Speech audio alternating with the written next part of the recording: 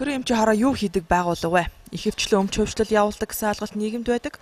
Угтаа бол төрийн мэдлийн өмчийг ашиглах эзэмших, захиран зарцуулах, тухайн өмчийг хааш нь хэрхэн хөдлөх зэрэг үйл ажиллагааг хариуцсан гүйцэтгэдэг хуулиар байгуулагдсан байгууллага юм а.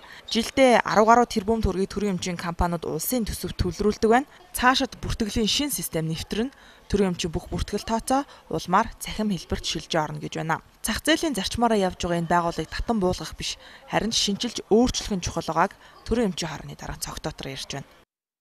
Төрийн эмчийн өмчийг захиран зарцуулах, ашиглах, эзэмших, бүртгэл тооцоох энэ бүх үйл ажиллагаа явуулдаг. Зарим хүмүүс төрийн өмчийн хорог зөвхөн хөвчлөлийн байгууллага гэж хараад. Зөвхөн энэ хөвчлөлт. Энэ хөвчлөл бол манай нэгийнхэн хэсэг. Тодорхой нэг хэсэг нь А их одоо хөгжлийн үе бол 90-ад оны үед явж исэн 96 2000 оны их хөгжил явж исэн. А ер нь бол энэ байгууллага төрийн өмч байх юм бол төрийн өмч ороо байх хэрэгтэй. А энэ одоо өмч хөгжлийн үйл ажиллагааг энэ байгууллага хэрэгжүүлээд 17 8 жил 20 жил боллоо.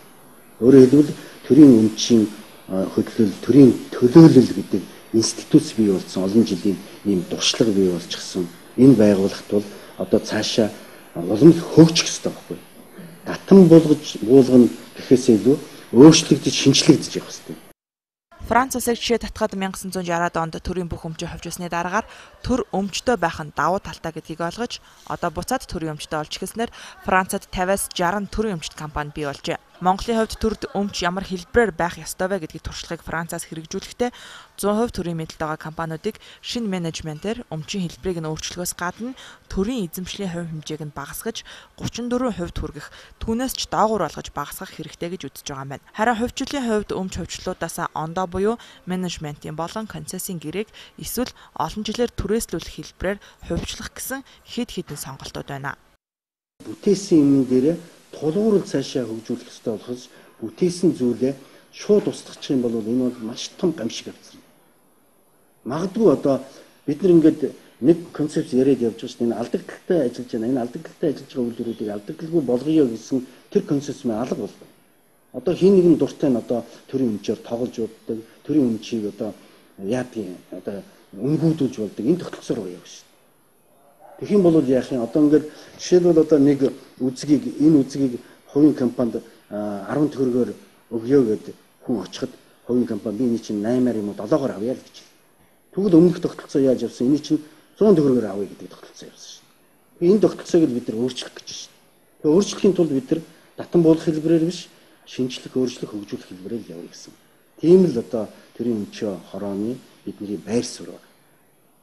Эвтэр төрийн өмчөө хороо бол одоо байх ёстой. Цаашд одоо үйл ажиллагаа явуулах ёстой. Хин нэгний газар очиж нэг хэлц тасаг болж ажиллах юм бол том концепцоо бол үгүй хийж Засгийн газрын шинэ бүтцээр төрийн өмчийн хороог ерөнхий сайд мэдлэлтэй авч төрийн өмчийг эзэмжүүлэх, өмч хувьчлалыг эрчимжүүлэх үүрэг даалгаврыг өгöd байгаа. Мөн төрийн өмчийн хороо хажуудаас сан байгуулах ажлыг судалж байгаа бөгөөд төрийн өмчт компаниудын жилд улсын төсөвт оруулдаг мөнгийг сандаа төвлөрүүлж чадвал үйл ажиллагаанд доголдож байгаа компаниуд руу шинжилэл, хөрөнгө оруулалт хийх боломжтой болно.